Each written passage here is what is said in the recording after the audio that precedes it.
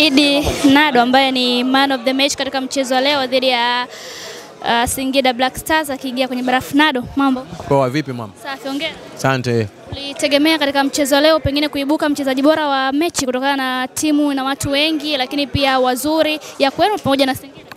Ah, nilitegemea kwa sababu nimejiandaa vizuri na mimi pia ni mchezaji mzuri, kwa sio surprise kubwa sana kwangu. Kocha amezungumza kwamba wewe ni mmoja wa kama vijana wake, unampa kile ambacho anakitaka. Pengine ni faraja kiasi gani kwako kuona kocha anakuamini, lakini pia unatoa kile ambacho anakihitaji? Ah, cha kwanza mimi namshukuru sana Mungu kupata bahati, sababu hiyo ni bahati, so kila mwalimu anaweza aka, akasema kitu kama hicho. Kwa hiyo na mimi mwenyewe sitaki kumwangusha, nitafanya zi, zaidi ya kadri ya uwezo wangu. Ilikuwa mechi aina gani dhidi ya Singida? Mechi ilionekana kama kuwa ngumu hivi. Ah, Singida ni timu nzuri na kila mtu anajua, kwa tulienda kupambana ili tuweze kupata pointi tatu. Leo hii wapi pengine waliwasumbua sana Singida Black Stars? Ah, Singida kwenye eneo la midfield walikuwa wengi, walikuwa wanaweza kumiliki mchezo, lakini sisi hapa tuka kama vile timu ya pili kuweza kuwa surprise kwa, kwa counter attack.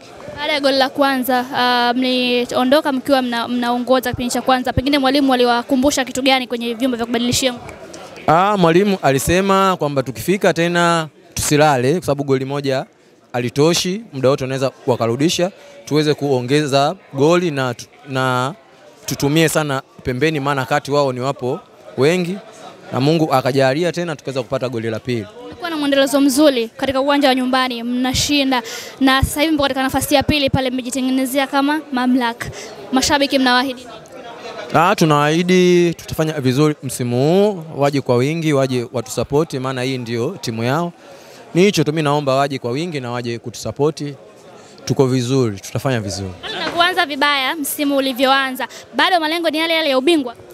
Malengo yapo mamangu, hamna, hamna kukata tamaa. Mimi naamini lolote linaweza likatokea.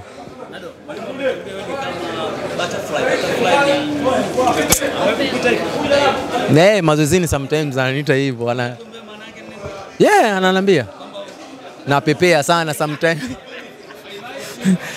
Si mtu wa utani, ni kama faza kwao, sometimes ndo hivyo ananiambia mara hivi vitu tofauti tofauti. Shukrani. Asante.